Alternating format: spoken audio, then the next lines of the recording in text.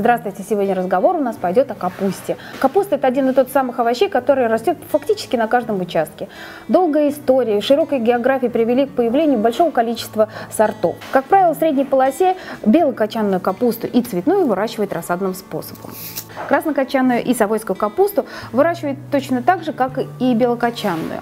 А вот ранние сорта белокочанной капусты, пекинскую капусту, брокколи, кальраби мы можем сеять путем прямого посева в грунт.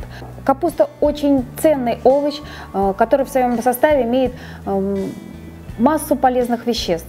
И витамины А, В, С и некоторые виды кислоты, которые достаточно редко встречаются в других овощах. И в цветной капусте, например, содержится тот самый редкий витамин У, который отвечает у нас за заживление ран, особенно в желудочном кишечном тракте при язвенных болезнях и других разновидностей заболеваний желудочно-кишечного тракта. Что вы должны помнить, если при высадке капусты в грунт? Основными предшественниками капусты э, должны быть картофель, чеснок, огурцы, это все допустимо. То есть в этот грунт мы можем сажать, но ни в коем случае капусту нельзя сажать там, где у вас произрастали представители крестоцветных пород. То есть это рукола, редька, редис. Капусту на эти грядки сажать нельзя, так как у них одни и те же вредители и э, одни и те же заболевания. Поэтому выбираем грядки не после крестоцветных. Белокочанную капусту можно разделить на три группы. Это ранние, средние ранние и поздние. Как правило, ранние, ранние сорта капусты используются летом в салатах, в закусках, в приготовлении ща. Как правило, летние, как правило, ранние сорта капусты используются для приготовления летних щей, салатов, закусок, фаршировки. Средние и поздние сорта и поздние сорта используются для хранения. Они очень хорошо лежат, чины у них очень плотные, тугие, и хорошо они сохраняют все свои питательные вещества вплоть до нового урожая. Краснокочанная капуста и совойская капуста – это тоже разновидности белокочанной капусты. Э, выращивать, можно выращивать как рассадным, так и безрассадным способом путем посева в грунт, как я уже говорила. Краснокочанная капуста бывает э, средних поздних сортов и поздних сортов. Использование ее достаточно широкое, ее используют и в салатах, и в маринаде. Единственное, что при приготовлении вторых блюд вот такая замечательная окраска капусты теряется, но вкусовые качества не изменяются. Совойская капуста чем хороша? Она может вызревать достаточно рано, э, даже раньше, чем белокочанная капуста, не имеет грубых прожилок, за что ее очень ценят и используют в приготовлении голубцов и других легких салатов летних. Еще очень интересные сорта капусты. Это цветная капуста, брокколи и вот такая вот капуста романеска. Что можно сказать про них? А, цветная капуста у нас давно уже заслужила нашу, нашу любовь. И часто ее высаживают на огородах, при усадебных участках. А, как правило, ее высаживают всегда. В основном ее высаживают через рассаду. Она обладает уникальными свойствами – как я уже говорила, содержится витамин У, который залечивает раны желудка. Цветная капуста менее холодостойкая. Ее высаживают в грунт позже, чем обычную белокочанную капусту. Срезают всегда только верхнюю часть, то есть э, качанчики. Брокколи тоже можно сказать, что она э, капуста та, которая хорошо сохраняется в зиму путем заморозки. Э, содержание витаминов в ней достаточно высокое.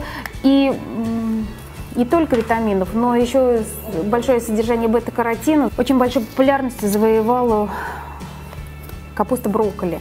Содержание бета-каротина в ней, наверное, всех, из всех сортов капусты самое высокое. Витамины, минералы, ну, то есть целая таблица Менделеева вот содержится в таких замечательных головках. Она хорошо используется при приготовлении вторых блюд и очень хорошо переносит любую заморозку. То есть в зимний период времени незаменимая. И самый еще интересный момент. Э, путем скрещивания вот этих двух видов капуст получили вот такой вот интересный сорт, декоративный очень, называется капуста романеска. Эта капуста забрала лучшие качества от цветной капусты и от брокколи. И еще вот такой вот необыкновенный вид. То есть она э, и в приготовлении блюд, блюд будет очень оригинально смотреться, и на дачном участке. То есть внесет какую-то определенную изюминку. Следующий представитель – это капуста брюссельская, э, когда на одном стволе сформируется вот такие много маленьких миленьких качанчиков. Урожай, как правило, собирают, урожай, формируют, урожай собирают э, в сентябре-октябре. Капуста очень хорошо зарекомендовала себя в лёжке, то есть при температуре 0 градусов хранится отлично ведет себя в заморозке, используется для приготовления вторых блюд в основном. Имеет очень такой необыкновенный пикантный вкус. Следующий представитель капустных – это кальраби. Что, знать, что следует знать про эту капусту? В пищу у нас идет вот такой вот шаровидный стебель. И могу сказать так, что при выращивании вы должны помнить, что затягивать сбором урожая этой капусты не стоит, так как стебель начинает грубеть. И, в общем-то, становится не очень приятной на вкус. Это вот кальраби выращивается тоже рассадным способом. Еще одна из разновидностей капусты – это грюнколь. У нее необыкновенно красивые листья, которые тоже используем в пищу, но единственное, что в сыром виде они э, достаточно жесткие, и лучше, конечно, использовать ее после термической обработки. Листья очень необыкновенно красивые. Португальская капуста тоже заслуживает вашего внимания. У нее необыкновенные красивые листья, и обладает она с ярким выраженным капустным вкусом и с такой легкой пикантной горчинкой. Еще интересные представители китайской группы это пекинская капуста и китайская капуста. У них э, необыкновенно красивые листья.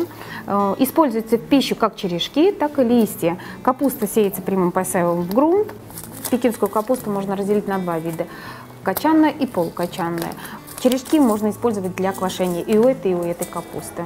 Так что вот еще одни представители. Следующий представитель капустных – это японская капуста сорта Мизуна. У нее очень красивые листья, выращивают безрассадным способом путем прямого посева в грунт и используется в салатах на протяжении всего летнего периода. У него достаточно яркий капустный вкус. В наших магазинах я очень часто видела, что вот эту капусту продают под видом салатов. Это не так, это все-таки представитель капустных. Есть еще один замечательный представитель капустных. Это капуста с названием кайла. На Востоке ее очень часто выращивают как капусту, но э, используют как спаржу, то есть и готовят как спаржу, и отношение к ней как к спарже, используют ее для приготовления различных блюд на протяжении всего, э, всего летнего периода. И самое интересное, что эта капуста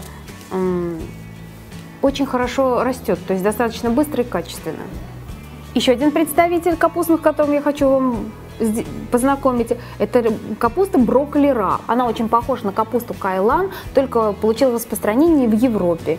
Э, ее тоже ее тоже используют в пищу как спаржевые, готовят как спаржевые и используют в пищу все части растения. Сеют прямым посевом в грунт, и генетически она сохранила все свойства бро капусты брокколи. Поэтому такая вот интересная капуста. У нас как-то она вот не получила такого распространения в наших огородах, но тем не менее не стоит попробовать ее вырасти. Она очень красиво еще смотрится. Поэтому вот обратите на внимание на эти вот новые, необыкновенные сорта капусты. Я думаю, что вот такой вот обзор капусты вам понравился. Теперь я вас познакомлю с новыми сортами, которые наверняка вы не знали. Поэтому выращивайте капусту и кушайте.